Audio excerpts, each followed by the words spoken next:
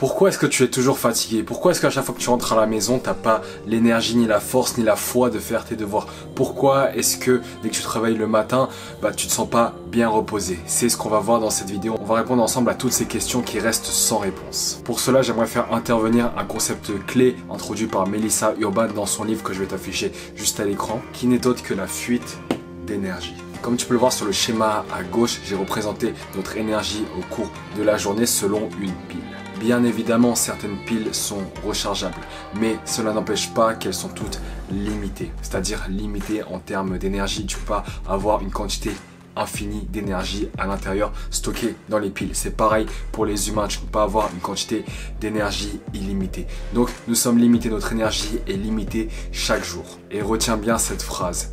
Chaque interaction, chaque action que tu entreprends résulte en la consommation d'une partie cette énergie. Donc ce qui veut dire concrètement que par exemple lorsque tu vas euh, faire tes devoirs, bah, tu vas consommer de l'énergie, lorsque tu vas faire du sport, tu vas consommer de l'énergie, lorsque tu vas lire, tu, tu vas consommer de l'énergie. Bref, toutes les actions que tu entreprends conduisent à une consommation d'une partie de ton énergie disponible pour la journée. C'est pourquoi on te dit toujours de faire les tâches les plus dures le matin. Parce que si tu les fais le soir, tu n'auras même plus d'énergie, ni de force, ni de concentration pour agir sur ces tâches. Donc fais toujours tes tâches les plus importantes le matin. On appelle ça les MIT Most Important Tasks. Et maintenant que tu sais que ton énergie est limitée dans le temps, on va parler du concept de fuite d'énergie. On qualifie de fuite d'énergie ces activités qui dépensent beaucoup plus d'énergie qu'elles n'en rapportent. Et on les qualifie de fuite parce que tu ne te rends même pas compte qu'elles te dévorent de l'énergie.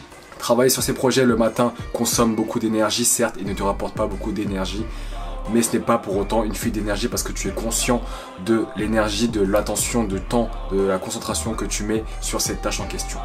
Par contre, scroller sur les réseaux sociaux, ça, c'est une fuite d'énergie. Pourquoi? Parce que tu as l'impression que ça ne te coupe absolument pas d'énergie et que, au contraire, ça te recharge.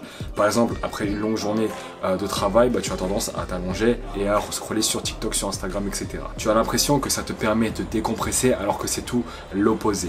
Les réseaux sociaux stimulent en effet ton cerveau au maximum. Tu as constamment de nouvelles informations. Tu vis constamment de nouvelles émotions à chaque vidéo présentée à toi. Parfois, tu as des vidéos qui te font rire, parfois tu as des vidéos qui font pleurer, parfois tu as des vidéos qui te surprennent, parfois tu as des vidéos qui te rendent mélancolique. Bref, tu vis tout un, un, manège d'émotions. Donc lorsque tu es dans ton lit à scroller sur les réseaux sociaux, tu as l'impression de te reposer parce que oui, il y a un repos physique. Tu es dans ton lit, c'est confortable, euh, tu soulages tes muscles, etc.